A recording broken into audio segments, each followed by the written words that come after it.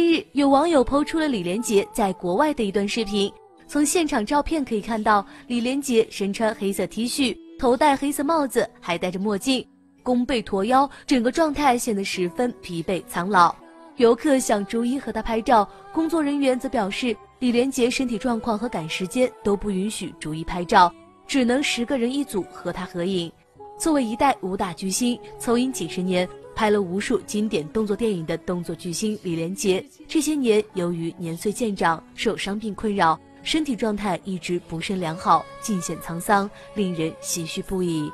网友见此也纷纷表示对李连杰的心疼，希望他保重好身体。年轻时候的电影是一个经典，拍功夫片真的是拿生命在拍，好好休息，保重好身体最重要。